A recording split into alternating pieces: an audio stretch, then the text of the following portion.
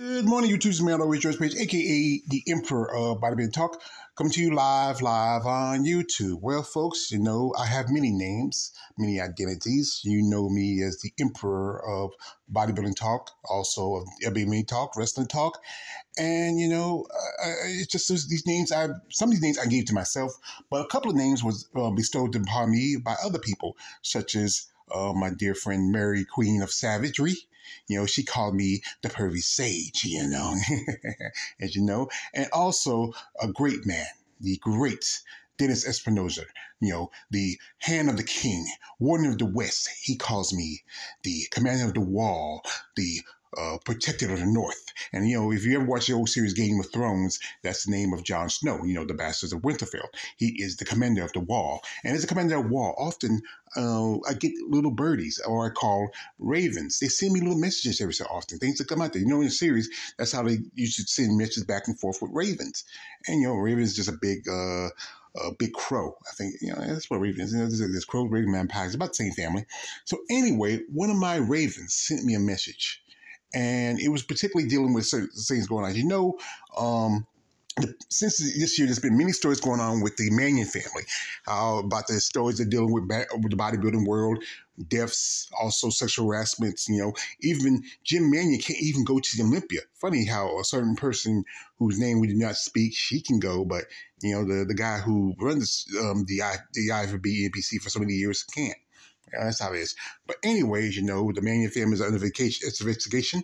Um, JM, the, uh, Jim's son, and also um, he's being looked at because of certain situations of sexual harassment and also of um, other miscellaneous other uh, accusations against him, which are look like there's going to be a big lawsuit against the Manion family, a very big lawsuit.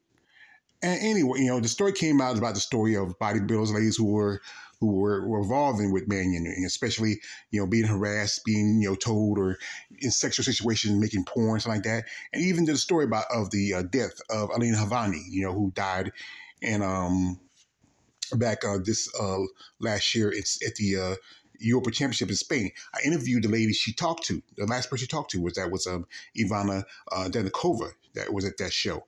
You know, a fellow um, you know Czech Republic sir.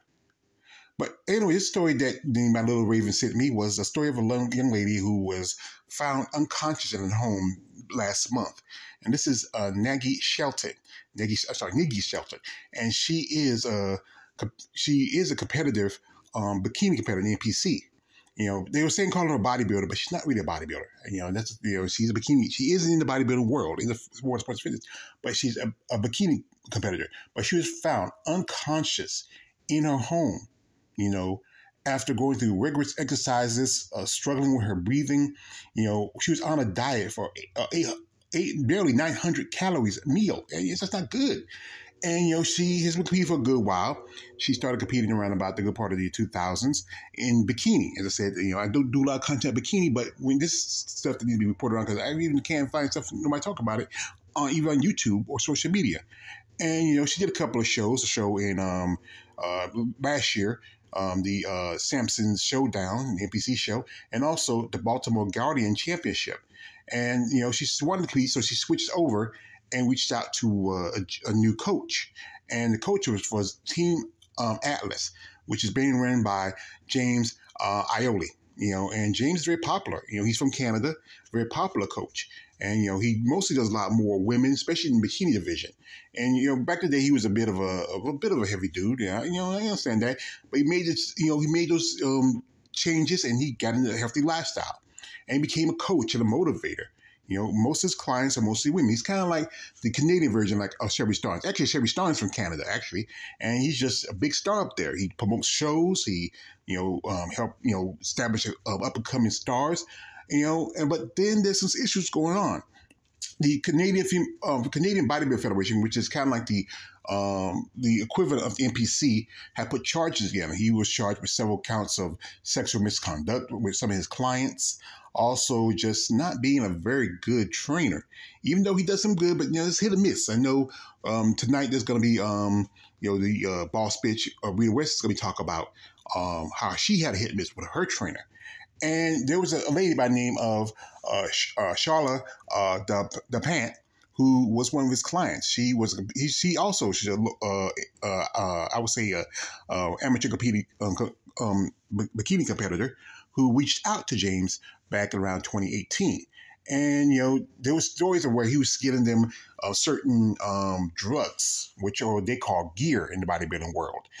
And the gear was sometimes because you know they had to ship it out of Canada, they had to call it either oils or vitamins. And even his girlfriend, who's Hannah, she was even taking part today. You know, I, her last name I can't say right, so her name Hannah. She's she's a model. She's a fitness uh, uh, instructor. You know, she's also I think she's also Middle Eastern, just like um, Nagy. Nagy's region from Iran, and you know, and um, those two were pretty much involved with possible transporting you know um, illegal substance across American borders. You know, a while back, Chris Bumstead's sister got busted for that, and probably he was involved in it too. And these two are like under investigations for transferring drugs across um, uh, American lines into other countries. You know, that's that's that's hey, that's heavy stuff. But still, he's still training people. Now, one lady who um, is a is a pro level she compete she, um, pro level compete uh, uh, bikini competitor that is Laura uh, Chapados, uh, you know Lauralie Chapados. She was one of um, James's clients. You know, she's been a multiple time Olympic competitor, also been a classic competitor, and she has a lawsuit against her by James because he wasn't shouting her out. And you know, I saw it on um, you know, Nick, uh, what's his face over there? You know, I don't watch his stuff too much, but I just listened to the clip a while ago, and you know, she was very devastated because hey, this man was been a friend, but there's some issue. This guy's suing his own client because he didn't shout her out at a, at a show. Maybe she would have got. Hey, sometimes, especially when these ladies are low on carbs like that, hey, it misses their brain. So my thing, shout out to um, this is about really about Nagy Shelton. Her family, they're standing by her, you know, supporting her. They have to take care of her. They just recently said they moved. She moved to a, a extended living facility because she's been in a coma since November, and you know she's not active. They have to really take care of her, like like right here, her mother and her sister are tending to her you know, putting nail polish on her, make sure she's good and clean. And she was taking some heavy stuff, some of the stuff that guys use, like uh, even certain drugs that were used for if men, especially for men bodybuilders, would block them from having what they call bitch tits. It's where when their their um, breasts become more enlarged and swollen, kind of like if you were pregnant. But you know, Nagy, she is hanging in there. Um, there's no telling will she ever get out her comatose state. Uh, I feel bad about this girl, and no one's been talking about it. So I decided, you know, I got to say something about it because you know my content is about you know um, talking about what's going on in the sport. I'm just not a fan of bodybuilding, but like I said, I'm a content maker, and nobody else is saying anything about it. So if no one else do, I should. But like I said, um, she does have a GoFundMe. Uh, the Atlas team uh, fixed her up a, a GoFundMe and um, in her um, in and also an IG account. So if you are anybody out there, I know it's getting close to the holidays. You know, money's getting tight. You know, you want to spend a time with your family and friends. But if you're interested in helping out um, Nagy Shelton and her family, the you know the GoFundMe I'm gonna leave in the description. Also leave the um, uh, her IG, which was, was created by the Atlas team. Um, and um, you can check it out. The story that um, the Washington Post posted is in there. You got to click in the um, in her story part. You know, they have somebody sent me a link, but when you, what they do is like you have to try, you know, uh, subscribe and buy. No, no, I'm not gonna do that. Nah, but I do find I, I, I have the uh, the link where you don't have to read it. It's gonna be I'll put in the description also. So check it out. And if you have ways and means to support you know Nagy Shelton and, and her recovery, um, if you want someone who genuinely want to help out, she's she's in a hospital in I think in Virginia. Uh, she's originally from Ashburn, and I think the hospital is uh, I believe is a uh, Inova uh, Loudoun Hospital. Um, you you like I said, you'll find it in the um in the in the um in the in the uh, the article. But like I said, this young lady, 36 years old, she was five six, and she was barely barely over 100 pounds. And this thing is, you got to realize your body type. She's tall. That's tall for a woman, five six. And then you try to squeeze something below, like under anything under, I would say 100 or 150 for a woman that size is not healthy. It's dangerous.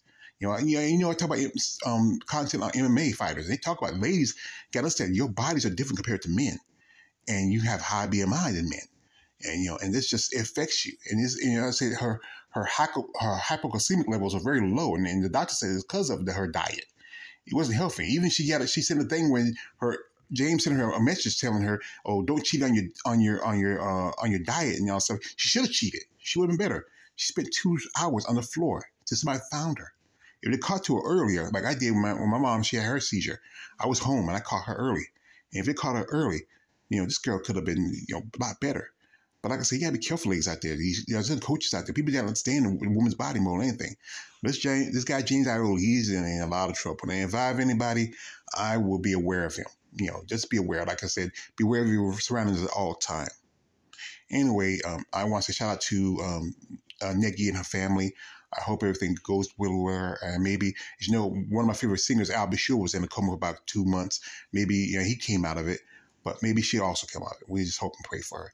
Send your heart and love to the family. And if you, like I say, if you have a way to donate to a GoFundMe, which I leave in this comment section, in the description section, you know, please do. And, and I know it's the holidays, and I understand, but like I said, it never hurts to give and to help somebody out who deserves it.